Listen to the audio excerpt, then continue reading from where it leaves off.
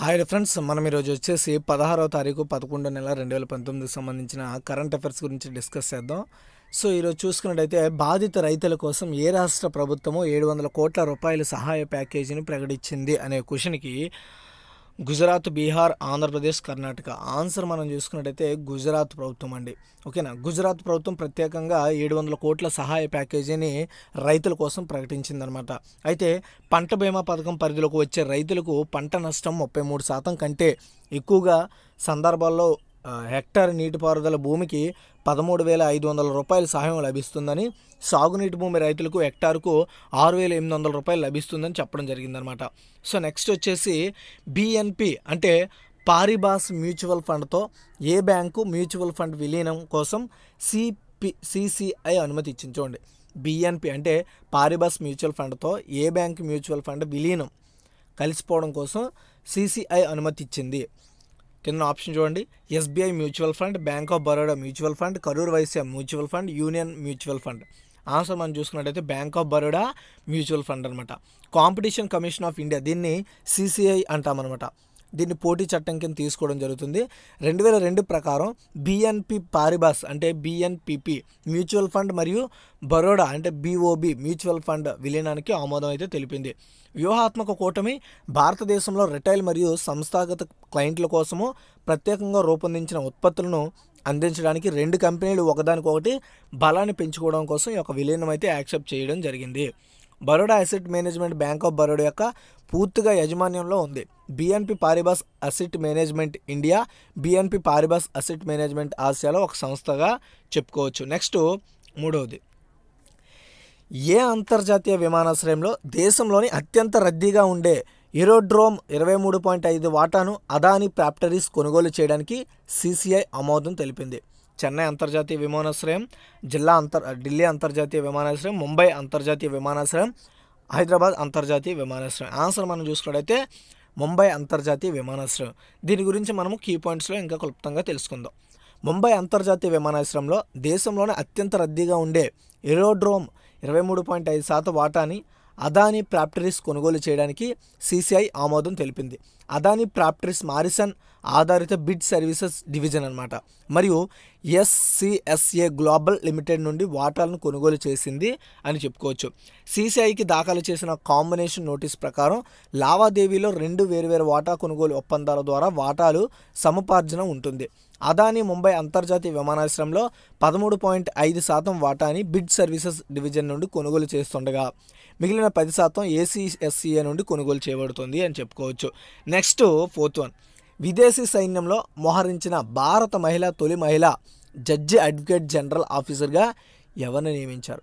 Clarity వినండి చాలా important question. విదేశీ సైన్యంలో మోహరించిన భారత మహిళ తొలి మహిళ జడ్జ్ అడ్వకేట్ జనరల్ ఆఫీసర్గా ఎవరిని నియమించారు? మాధవి కిరణ్మయి జో జ్యోతి శర్మ అండ్ సెల్వం కుమారి. ఆన్సర్ మనం చూసుకున్నట్టయితే జ్యోతి శర్మని నియమించారు. లెఫ్టినెంట్ కల్నల్ జ్యోతి శర్మను విదేశీ సైన్యంలో మోహరించిన భారత మహిళ తొలి మహిళా జడ్జ్ అడ్వకేట్ జనరల్ ఆఫీసర్గా నియమించారు. ఆమెను సిస్ సిషస్పెల్ ప్రభుత్వంలో సైనిక న్యాయ నిపుణుడిగా నియమించారు. రక్షణ మరియు సైనిక చర్యపై సిషెల్స్ అధికారులు ప్రభుత్వాన్ని స- నవీకరించడం జ్యోతి యొక్క ప్రధాన పాత్ర అని చెప్పుకోవచ్చు. సెప్టెంబర్లో వింగ్ కమాండర్ అంజలి సింగ్ రష్యాలోని భారత రాయబారి కార్యాలయంలో చేరారు. భారతదేశం మొట్టమొదటి మహిళా సైనిక దౌత్యవేత్తగా విదేశాలలో ఏదైనా మిషన్లో నియమించబడ్డారనమాట ఇవిడ నెక్స్ట్ ఫిఫ్త్ వన్. ఆంధ్రప్రదేశ్ ప్రభుత్వ ప్రధాన కార్యదర్శిగా ఎవరు నియమితులయ్యారు? కుమారి జ్యోతివన్ శైలజ శర్మ నీలం సాహిని. ఆన్సర్ మనం చూసినట్లయితే నీలం సాహిని. దీని ఈవిడ గురించి మనం ఆల్రెడీ ముందే తెలుసుకున్నాం. సీనియర్ ఐఏఎస్ అధికారి నీలం సాహినిని ఆంధ్రప్రదేశ్ నూతన ప్రధాన కార్యదర్శిగా నియమించారు. ఈవిడ పంతొమ్మిది వందల ఎనభై నాలుగో బ్యాచ్కి చెందిన ఇండియన్ అడ్మినిస్ట్రేటివ్ సర్వీస్. దీనిని మనము ఐఏఎస్ అంటాం. చెందిన అధికారి సాహిని అన్నమాట. ఓకేనా? నీలం సాహిని పదవికి నియమిస్తూ జనరల్ అడ్మినిస్ట్రేషన్ విభాగం ఉత్తర్వులు జారీ చేసింది. స్నాహిని ఆంధ్రప్రదేశ్ మొదటి మహిళా ప్రధాన కార్యదర్శిగా గుర్తుపెట్టుకోండి. ఓకేనా? ఓకేనా? ఆంధ్రప్రదేశ్ మొట్టమొదటి మహిళా ప్రధాన కార్యదర్శి ఎవరు? ప్రభుత్వ కార్యదర్శి ఎవరు అంటే నీలం సాహిని అని మీరు గుర్తుపెట్టుకోవాల్సిన అంశం అనమాట ఓకేనా? అయితే next sixth one. Global high resolution atmosphere ఫార్మాస్టిక్ సిస్టమ్ను ఏ సాఫ్ట్వేర్ కంపెనీ ప్రారంభించుతోంది? ఇది పన్నెండు గంటల ముందుగానే పరిస్థితులను అంచనా వేయగలదు. ఈ యొక్క సాఫ్ట్వేర్ని ఏ కంపెనీ తయారు చేస్తుంది? డెవలప్ చేస్తుంది. Infosys TCS program image IBM Microsoft. Answer మనం చూసుకున్నట్టయితే IBM. IBM global high resolution atmosphere ఫార్మాస్టిక్ system IBM గ్రాఫ్ను ప్రారంభించనుంది. ఇది పన్నెండు గంటల ముందుగానే పరిస్థితులను అంచనా వేస్తుంది. ఇప్పుడు చూసారు కదా పొల్యూషన్ మనకి ఎక్కువ అవుతుందని చెప్పడం కానీ లేదంటే వాతావరణం ఎలా ఉంది? అండ్ ఇదన్ని వీటన్నిటి గురించి కూడా మనకి పన్నెండు గంటల ముందుగానే ఇన్ఫర్మేషన్ అయితే పాస్ చేస్తుంది. అంటే ఈ సాఫ్ట్వేర్. ఈ సాఫ్ట్వేర్ని ఐబిఎం అయితే తయారు చేస్తుంది. ఇటువంటి ఖచ్చితమైన అంచనా వ్యవస్థ యునైటెడ్ స్టేట్స్ అండ్ జపాన్ మరియు కొన్ని పశ్చిమ యూరోపియన్ దేశాలు మాత్రమే అందుబాటులో ఉంది. ఇప్పుడు మన ఇండియాలో కూడా అందుబాటులోకి రాబోతుంది. Next seventh one. ఇటీవల జార్డాన్ ఏ దేశంతో ఇరవై ఐదు సంవత్సరాల శాంతి ఒప్పందం యొక్క నిబంధనను ముగించింది? Israel Syria Lebanon Russia. Answer మనం చూసుకున్నట్టయితే చూడండి. ఇటీవల జోర్డాన్ ఏ దేశంతో ఇరవై ఐదు సంవత్సరాల సాత్య ఒప్పందం నిబంధన ముగించింది అంటే ఇజ్రాయెల్ అనమాట జోర్డాన్ మరియు ఇజ్రాయిల్ మధ్య ఇరవై ఆరు అక్టోబర్ పంతొమ్మిది వందల తొంభై నాలుగున ఒక ఒప్పందం కుదిరింది. సో ఈ ఒప్పందం బకూరా మరియు అల్ గమర్ నిబంధనల ప్రకారం ఇరు దేశాల మధ్య సరిహద్దు ప్రాంతాలు ఈ ఒప్పందంలో ఉంటాయన్నమాట. ఓకేనా? Next eighth one. ఇంటర్నెట్లో చైల్డ్ పోర్న్ పెరుగుతున్న భయాన్ని ఎదుర్కోవడానికి ఆన్లైన్ చైల్డ్ లైంగిక వేధింపు మరియు దోపిడీకి దీన్ని ఓసిఎస్ఏఈ అంటారు. సో ఈ నివారణ విభాగాన్ని ఏ సంస్థ ఏర్పాటు చేసింది మన ఇండియాలో? ఓకేనా? చైల్డ్ పోర్న్ నిర నిర నిర్మూలించడానికి ఓకేనా? ఆన్ చైల్డ్ లైంగిక వేధింపు మరియు దోపిడీ ఓసిఎస్సి అనే నివారణ విభాగాన్ని ఏ సంస్థ ఏర్పాటు చేసింది? మహిళా మరియు శిశు అభివృద్ధి మంత్రిత్వ శాఖ central bureau of investigation and supreme court Indian council for child welfare. Answer మనం చూసుకున్నట్టయితే central bureau of investigation. Child porn పెరుగుతున్న భయాన్ని పరిష్కరించడానికి సెంట్రల్ బ్యూరో ఆఫ్ ఇన్వెస్టిగేషన్ దీన్ని సిబిఐ అంటాం మనం షార్ట్కట్లో. సో ఇటీవల న్యూఢిల్లీలో ఆన్లైన్ చైల్డ్ లైంగిక వేధింపు మరియు దోపిడీ ఓసిఎస్ఏఈ అంటాము గుర్తుపెట్టుకోండి. నివారణ మరియు దర్యాప్తు విభాగాన్ని ఏర్పాటు చేసుకుంది. ఓకేనా? నెక్స్ట్ తొమ్మిదవది. ర్యూగు అనే గ్రహశాలకం నుండి భూమికి తిరిగి రావడానికి ఏ దేశం యొక్క ఉపగ్రహం హయాబుసా రెండును ప్రారంభమైంది. చూడండి రిగు అనే గ్రహశాల్కం నుండి భూమికి తిరిగి రావడానికి ఏ దేశం యొక్క ఉపగ్రహం హయూబుసా టూ ప్రారంభమైంది? ఉత్తర కొరియా దక్షిణ కొరియా చైనా జపాన్. చూడండి ర్యూగు అనే గ్రహశాలకం నుండి భూమికి తిరిగి రావడానికి మనకి చూసుకున్నట్లయితే జపాన్ దేశం యొక్క ఉపగ్రహము హయాబూసా టూ ప్రారంభమైందని చెప్పుకోవచ్చు. జపనీస్ అంతరిక్ష సంస్థ జాక్సా మనం జపాన్ అంతరిక్ష సంస్థని జాక్సా అంటాం. సో అంతరిక్ష నౌక హయాబుసా రెండును మూడున్నర సంవత్సరాల ప్రయాణం తర్వాత భూమి నుండి మూడు వందల మిలియన్ కిలోమీటర్ల దూరంలో ఉన్న ర్యూగో అనే గ్రహశాల్కం చేరుకుంది. ఇది గ్రహశాలకం యొక్క కొన్ని నమూనాలను సేకరించింది. మరి ఇప్పుడు అది భూమికి తిరిగి రావడం కూడా జరుగుతోంది స్టార్ట్ అయింది ఇది. సో టైం టెన్ నెక్స్ట్ జాబితాలో ఏ భారతీయ ప్లేయర్ పేరు పెట్టండి. అంటే పేరు పెట్టబడింది చేర్చుకోబడింది. టైం టెన్ నెక్స్ట్ జాబితాలో ఏ భారతీయ ప్లేయర్ యొక్క పేరును చేర్చబడింది? టైం టెన్ నెక్స్ట్ గుర్తుపెట్టుకోండి. టైం టెన్ నెక్స్ట్ జాబితాలో ఏ భారతీయ ప్లేయర్ పేరు పెట్టబడింది? రోహిత్ శర్మ డ్యూటీ చంద్ సురిత్మి మందన్ పివి సింధు. ఆన్సర్ మనం చూసుకున్నట్టయితే టైం హండ్రెడ్ నెక్స్ట్ జాబితాలో మనం చూసుకున్నట్టయితే డ్యూటీ చంద్. ఓకేనా? డ్యూటీ చంద్ పేరును పెట్టడం జరిగిందనమాట. డ్యూటీ చంద్. ఇక్కడ మనము కీ పాయింట్ చూసుకున్నట్టయితే భారత athlete Dutee Chand time hundred next జాబితాలో చేర్చబడ్డారు.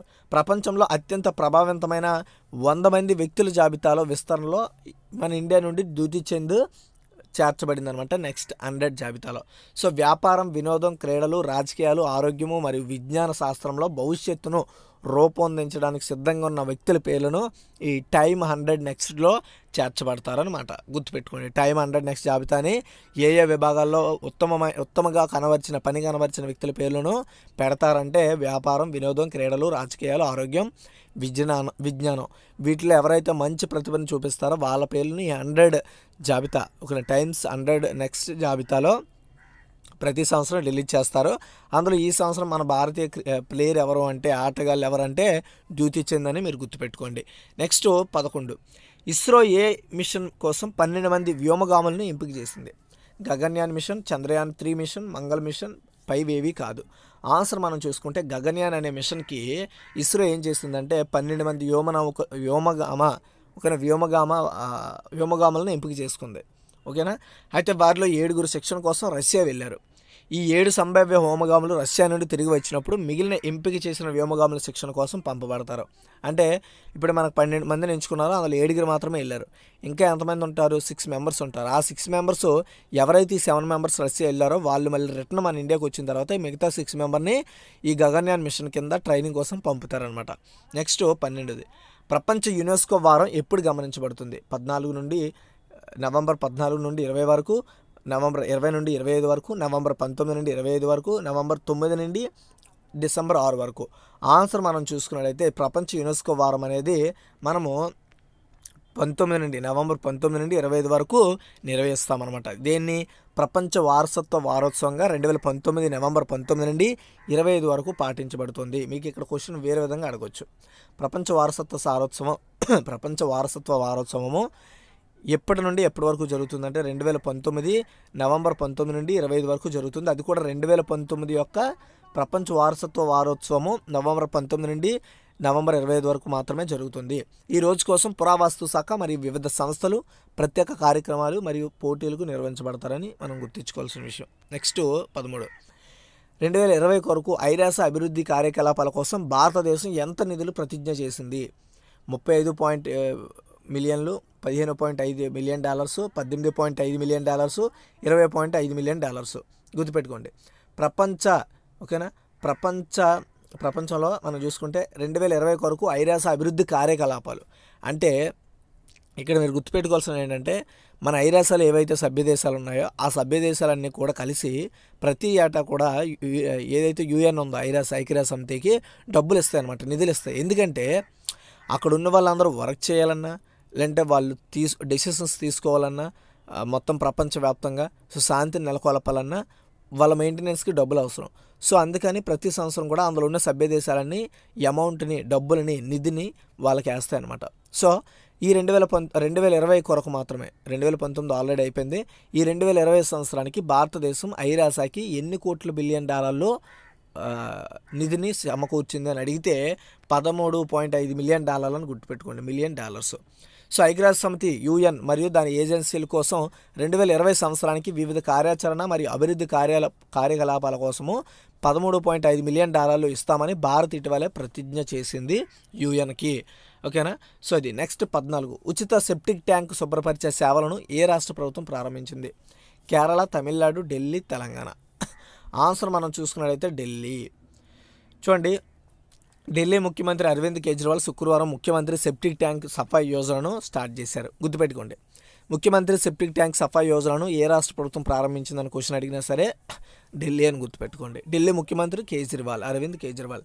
దీని కింద ఢిల్లీ జల్ బోర్డు ఎనభై ట్రక్కులతో పాటు శిక్షణ పొందిన సిబ్బందితో ఈ యొక్క పథకాన్ని ఏర్పాటు చేశారు. ఈ పథకం కింద ఢిల్లీ ప్రభుత్వ రాజధాని అంతటా ఉన్న అన్ని సెప్టిక్ ట్యాంకులకు ఉచితంగా శుభ్రపరిచే పనిని చేపడతాయని ఒక అధికారి ప్రకటన తెలిపింది.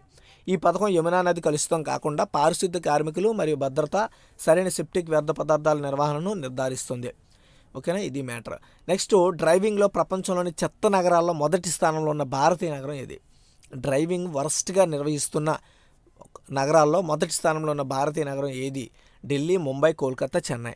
ఆన్సర్ మనం చూసుకున్నట్లయితే ముంబై. దేనికంటే డ్రైవింగ్లో ప్రపంచంలో చెత్త నగరాలు వర్స్ట్గా బిహేవ్ చేస్తున్న ఉత్తమమైన మొదటి స్థానంలో ఉన్న భారతీయ నగరం. ఓకేనా? ఒక చెత్తగా బిహేవ్ చేస్తున్న డ్రైవింగ్లో ఫస్ట్ ప్లేస్లో ఉన్న భారతీయ నగరం ఏంటంటే Mumbai. European car parts retailer Mister Auto ఇటీవల నిర్వహించిన ఒక సర్వే ప్రకారం డ్రైవింగ్లో ప్రపంచంలోని చెత్త నగరాల్లో ప్రపంచవ్యాప్తంగా ఉన్న నగరాల జాబితాలో ముంబై ఫస్ట్ ప్లేస్లో ఉంది. ప్రపంచంలోనే ఫస్ట్ ప్లేస్లో ఉందంట. ఓకేనా? ఈ స్- ఈ యొక్క సర్వేని ఎవరు నిర్వహించ నిర్వహించారంటే European car parts retailer Mister Auto ఇటీవల నిర్వహించిన ఒక సర్వే ప్రకారం మన ఇండియా మొత్తం ప్రపంచంలో చూసుకుంటే డ్రైవింగ్ వరస్ట్గా బిహేవ్ చేస్తున్న దే నగరాల్లో ముంబై ఫస్ట్ ప్లేస్లో ఉందంట. డ్రైవింగ్ డ్రైవింగ్ కోసం ప్రపంచంలో టాప్ టెన్ చెత్త నగరాల గురించి చూద్దాం. ఓకేనా? అందులో ఫస్ట్ మన ముంబై ఉంది తర్వాత ఉలాన్ బాతూర్ మంగోలియాకి సంబంధించిన దేశం Kolkata India third place second third ప్లేస్లో ఉంది లాగోస్ నైజీరియా ఉంది కరాచీ పాకిస్తాన్ ఉంది Bogota Colombia Sao Paulo Brazil Mexico City Mexico Rio de Janeiro Brazil Moscow Russia. So చూడండి డ్రైవింగ్ వర్స్ట్గా డ్రైవింగ్లో వర్స్ట్గా బిహేవ్ చేస్తున్న నగరాల్లో ఫస్ట్ ప్లేస్లో ముంబై ఉంది. థర్డ్ ప్లేస్లో మన ఇండియాకి సంబంధించిన కోల్కతా ఉందన్నమాట. ఓకేనా?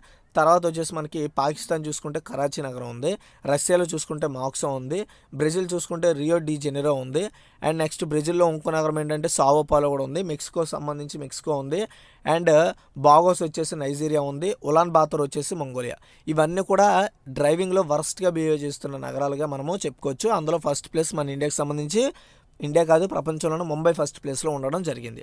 అయితే డ్రైవింగ్లో ఉత్తమంగా వర్క్ చేస్తున్న నగరాల్లో ఫస్ట్ ప్లేస్లో ఉన్నది కెనడాలోని కాల్గరీ అండ్ థర్డ్ ప్లేస్లో Dubai UAE ఒట్టావాలో Canada Bern Switzerland El Paso USA Vancouver Canada Gothenburg Sweden Dusseldorf Germany Basel Switzerland Dortmund Germany. ఇలా ఫస్ట్ ప్లేస్లో చూసుకుంటే కెనడా ఉందన్నమాట. ఫస్ట్ ఉత్తమంగా డ్రైవింగ్ని నడుపుతున్న నగరాల్లో ఫస్ట్ ప్లేస్లో కెనడాలో లాస్ట్ ప్లేస్లో జర్మనీ ఉండడం జరిగింది. ఓకేనా? అయితే మనం నెక్స్ట్ పదహారు క్వశ్చన్. యునెస్కో విద్యా కమిషన్ అధ్యక్షుడిగా ఎవరు ఎన్నికయ్యారు? సయ్యద్ విన్ సింకోనా డేవిడ్ స్మిత్ సఫ్ సఫ్కత్ మొహమ్మద్. ఆన్సర్ మనం చూసుకుంటే యునెస్కో విద్యా కమిషన్ అధ్యక్షుడిగా ఫస్ స్కఫ్ సారీ సఫ్కత్ మొహమ్మద్ ఎన్నికవడం జరిగింది. చాలా ఇంపార్టెంట్ విషయం. యునెస్కో విద్యా కమిషన్ అధ్యక్షుడిగా ఎవరు ఎన్నికయ్యారంటే సఫ్కత్ మొహమ్మద్. ఓకేనా? సఫ్కత్ మొహమ్మద్. చూడండి పారిస్లోని యునెస్కో యొక్క ప్రతిష్టాత్మక విద్యా మిషన్ అధ్యక్షుడిగా ఫెడరల్ విద్యా మరియు వృత్తి శిక్షణ శాఖ మంత్రి సఫ్కత్ మహమూద్ ఏకగ్రీవంగా ఎన్నికయ్యారు. మహమ్మద్ తన ఎన్నికల విజయాన్ని పాకిస్తాన్కు గౌరవంగా ఐక్యరాజ్య సమితి విద్యా శాస్త్రీయ మరియు సాంస్కృతిక సంస్థ యునెస్కో కోసం విద్యారంగంలో చేసిన కృషికి గుర్తింపుగా ఇతనికి యొక్క పదవి అయితే చేపట్టారు. అయితే విద్యాశాస్త్రాలు మరియు సంస్కృతిలో అంతర్జాతీయ సహకారం ద్వారా శాంతిని నెలకొల్పడానికి మరి అజెండా రెండు వేల ముప్పైలో నిర్వహించబడిన యుఎన్ సుస్థిర అభివృద్ధి లక్ష్యాలను సాధించడం కోసం తనను సహాయం చేస్తానని చెప్పడం జరిగింది. నెక్స్ట్ పదిహేడు. భారత జాతీయ పత్రికా దినోత్సవం ఎప్పుడు జరుపుకుంటారు? నవంబర్ పదహారు నవంబర్ పదిహేడు నవంబర్ పద్దెనిమిది నవంబర్ పంతొమ్మిది. ఆన్సర్ చూసుకున్నట్టయితే నవంబర్ పదహారు. జాతీయ పత్రికా దినోత్సవం రెండు వేల పంతొమ్మిది నవంబర్ పదహారున భారతదేశం అంతటా జరుపుకుంటారు. ఈరోజు ప్రతి సంవత్సరం పాటించడం జరుగుతుంది. జాతీయ అంతర్జాతీయ ప్రసంగాన్ని తీర్చిదిద్దే మీడియా వ్యక్తుల కృషిని తాను అభినందిస్తున్నానని ప్రధాని నరేంద్ర మోడీ ట్వీట్ చేశారు. ప్రెస్ ప్రతి సంవత్సరం నవంబర్ పదహారున జాతీయ పత్రికా దినోత్సవాన్ని జరుపుకుంటాం. ఈరోజు భారతదేశంలో స్వతంత్ర మరియు బాధ్యతాయుతమైన ప్రెస్ ఉనికిని సూచించడం కోసం ఈ రోజుని జరుపుకోవడం జరుగుతుంది. అయితే మొదటి ప్రెస్ కమిషన్ పంతొమ్మిది వందల యాభై ఆరులో భారతదేశంలో పత్రికా స్వేచ్ఛను కాపాడడానికి మరియు జర్నలిజంలో ఉన్నత ఆదర్శాన్ని కాపాడడానికి ప్రెస్ కౌన్సిల్ నిర్వహించింది. ఆ తర్వాత ప్రెస్ కౌన్సిల్ పంతొమ్మిది వందల అరవై ఆరులో జూలై నాలుగున భారతదేశంలో స్థాపించబడింది. ఇది పదహారు నవంబర్ పంతొమ్మిది వందల అరవై ఆరు నుండి తన పని ప్రారంభించింది. ఈ రోజు నుండి నవంబర్ పదహారున ప్రతి సంవత్సరం జాతీయ పత్రికా దినోత్సవంగా మనం జరుపుకోవడం జరుగుతుంది. సో ఇదిగా ఈరోజు ఒక టోటల్ కరెంట్ అఫైర్స్ ఇది పదహారో తారీఖు నవంబర్ రెండు వేల పంతొమ్మిది సంబంధించిన కరెంట్ అఫైర్స్ ఈ వీడియో కనుక మీకు నచ్చినట్లయితే లైక్ చేసి షేర్ చేసి మరిన్ని అప్డేట్స్ కోసం మన యూట్యూబ్ ఛానల్ సబ్స్క్రైబ్ చేసుకుని పక్కన ఉండే బెల్ ఐకాన్ క్లిక్ చేయండి. అయితే లైక్ చేయండి. అయితే ఇప్పుడు వచ్చి క్విక్ రివ్యూ చూద్దాం. బాధిత రైతుల కోసం ఏ రాష్ట్ర ప్రభుత్వం ఏడు వందల కోట్ల రూపాయల సహాయ ప్యాకేజీని ప్రకటించిందంటే గుజరాత్.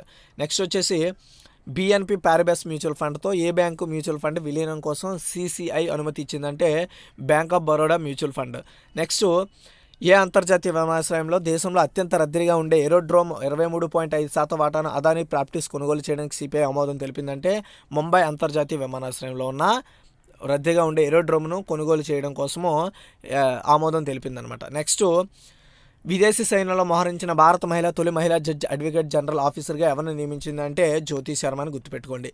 నెక్స్ట్ ఆంధ్రప్రదేశ్ ప్రభుత్వ ప్రధాన కార్యదర్శిగా ఎవరిని నియమించారు అంటే నీలం సాహ్నిని నియమించడం జరిగింది. ఆవిడ పంతొమ్మిది వందల ఎనభై నాలుగు బ్యాచ్ చెందిన అడ్మినిస్ట్రేటివ్ సర్వీస్ ఐఏఎస్ అధికారి.